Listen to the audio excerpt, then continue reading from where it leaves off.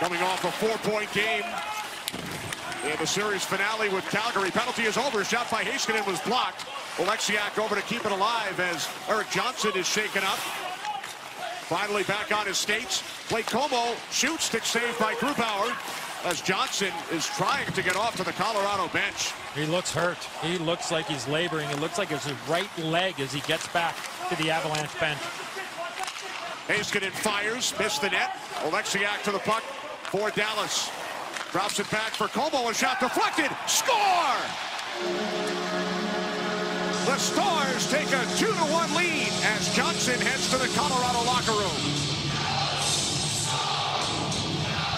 The formula's working for Dallas. They're winning a lot of puck battles. They're getting pucks back to the point. They're getting bodies to the net. And there you see Erik Johnson go down. Blake Comeau and he, low bridge kind of a situation. Huck's going to stay alive here. Oleksiak's going to keep it, throw it back out. Blake Comeau's going to shoot the puck.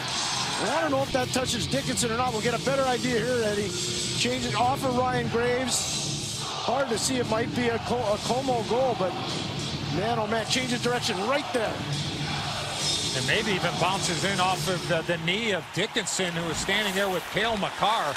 It also looked like on that injury pair with Erik Johnson, he took the initial shot in the in the foot or the ankle, and then he collided with Comeau right in front, so almost like a double whammy type of thing there and three with Erik Johnson. The shot comes in, catches him off the right foot, and then he collides leg on leg with Blake Comeau. Took Johnson quite a while to get to the bench, even with that puck being in his own zone. You know there's got to be something wrong, and you see him just leaning on that left skate. Knocked down by Johnson, who was injured in the first period. Played only 3 minutes, 58 seconds in period one, but has returned. Graves with a shot. Now Johnson to the puck. Avalanche also lost their starting goaltender, Philipp Grubauer, early in period two. Nathan MacKinnon. Now Kadri took a hit along the boards from Pavelski. Two on one. Janmark with Gurianov. Graves is back. Janmark across for Gurianov off his stick. A delayed penalty. It is a trip. And it looks like Erik Johnson is shaken up once again. And Graves forced him to the outside, and then Erik Johnson just goes down. I, I don't think that Janmark tripped him or anything. It just looked like he lost an edge and got off the ice and started walking down the runway in behind the Avs bench.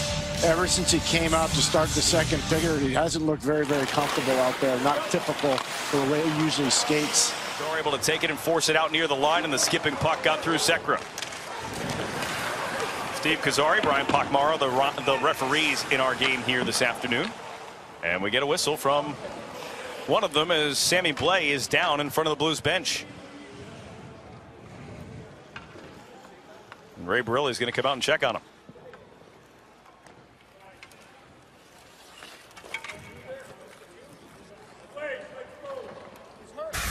Favoring that right leg, and he'll climb back over the boards as Sammy Blais delivered the hit, but slow to get up. Through, he was injured on the play, but he is the one that's being assessed a penalty. Could be a major here. Yeah, the hit from behind could easily be a five-minute major on Blais.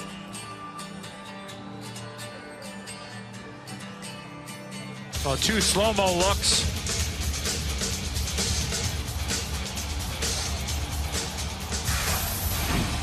They called it a major on the ice. The only option would be to reduce it to a minor. In the way the series has gone the last couple of games. Shot is blocked out to center. That stung Janmark, and he's having trouble. Gurianov cuts in and sent it wide. There's that wide speed. He scored on chances like that. Loose puck and a penalty upcoming, a hooking call. Janmark is in a lot of distress after blocking, blocking that shot. Yeah, that stings. He, he's tr trying to shake that one off, so. Calgary play number four, tuner for, okay. Wow. There's a lot of salty language going on, apparently. There's the hook by Anderson. He got clobbered on the head as well as Hintz was coming in trying to clean things up. Gurianov's chance tried to go against the grain on the glove hand side. The block that has Janmark wincing in pain. It looked like it caught him on the outside of the ankle, the right ankle. So he's on there. John Klingberg misses him on the home run pass. Off he hobbles, and the Stars go to the power play. Oilers with six power play goals. Kassian moving it back in. Checked by Keane as he came back, and it's an offside call. Or sorry, we've got an injury, and it's Ethan Bear, and this is going to be a problem for Edmonton if he's not okay. He played 9.52 in the first period, and they're already without Adam Larsson. DeBrincat's going to head to the box here. It's the penalty on the play, and just catches Bear in the numbers. No question about that. Finishing his check after Bear plays that he just continues on with the hit, and he's pretty far from the boards where he goes in aggressively. And you know, the energy's up, the intensity's up. You want to finish your checks, but when you see the numbers like that, you have to let up a bit. DeBrincat doesn't, and some concern on the ice as TD Fours is out there with Ethan Bear right now.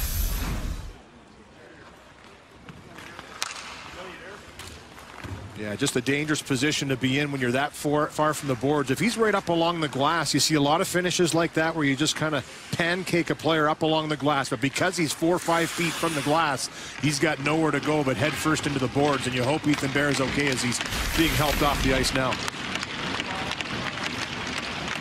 Just checking, I believe I heard it's a major penalty which can be called when there is an injury.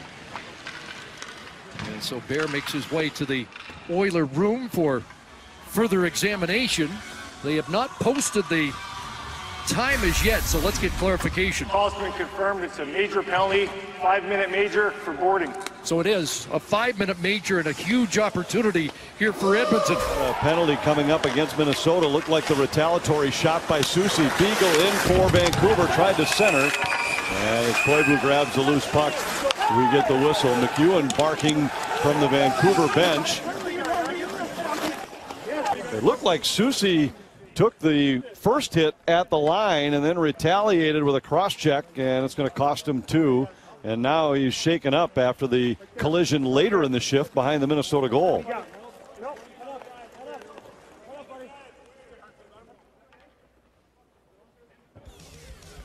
Soucy in obvious pain as he heads down the tunnel. Here's a look at the end of the play. Hart Hartman delivering the check. Plays it down towards Markstrom, who scoops it ahead for Myers. He got knocked down. A shin has shaken Myers up. Myers down, and that shot deflecting high. Play now being stopped. And Tyler Myers in some difficulty along the end boards. Is he ever? And, you know, just got this puck and didn't want to make a a bad play, so he held on to it and tried to weather the hit that was coming his way, and he went into the boards really awkwardly. Right here just makes the move, and Schenn gives him that shot, and he goes in head first, really shoulder and head first as Schenn catches him up high in the back with that cross check.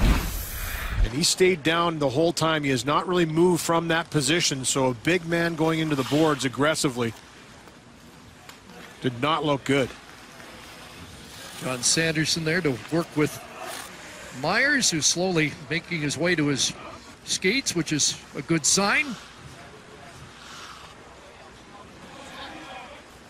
Just wants to make sure that he's he's good to get up and head to the bench. Looks like he's going to skate off on his own and some taps from everyone on the ice and the bench standing up. But he's had a real solid game. We've talked a lot about the penalties that he's taken throughout these playoffs and being a little bit too physical at times. I think tonight he's kept that in check and He's really been good with his stick and his size, and Schenn, just as he's turning, gives him that little shot into the boards, and he goes in hard. Yeah, dangerous position that he was in in that, in that spot. And for Schenn, he's coming in quickly, and at the moment that he's about to hit him, he's turning and just finishes through. And On the Colorado Avalanche, here's Gurianov, puts on the brakes, just missed through the crease. Goaltender's hurt. Yeah, he sure is. That right leg, that right leg he stuck out after that opportunity for Gurianov. And Grubauer is down. And he did not move once he hit the deck.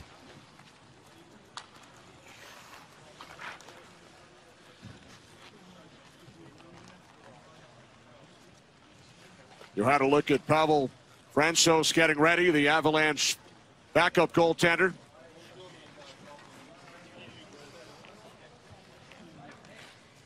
Ranso shut out Dallas in the round robin. His general manager, Joe Sakic.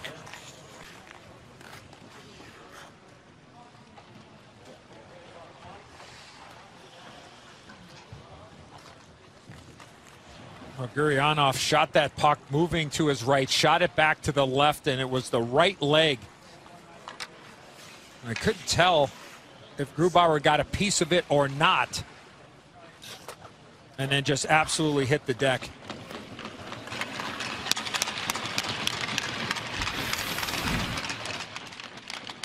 This is a stop and pop Gurianov. I don't think he ever got it, but you see right there, he's tied up and he's in pain. Yeah, he sticks that right leg out there, but again, I don't know if it was, you know, could be the, the left left leg, and obviously it is the left leg getting a good look now, not knowing, but it was the right leg he stuck out, but it was the left leg that gave out.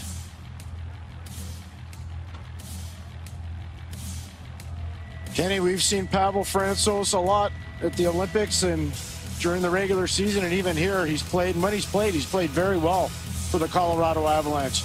And he catches with the offhand, Eddie, as you know. He yeah. catches with his right hand, not with his left hand like most goaltenders do. So a little bit different for the shooters or the stars when they're thinking about how they want to attack the problem that's in goal right now for Colorado. Yeah, a different animal here for Francouz. This is, uh, you're coming in relief. You're down 3-1 in round two of the Stanley Cup playoffs